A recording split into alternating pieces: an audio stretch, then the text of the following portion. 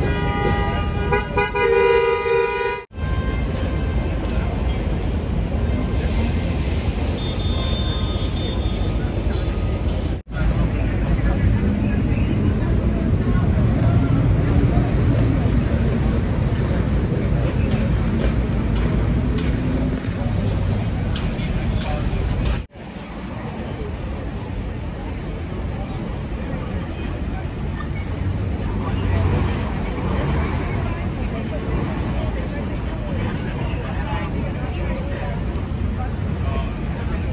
I just heard sirens on repeat, which is very atypical because usually it's for a maximum of three minutes.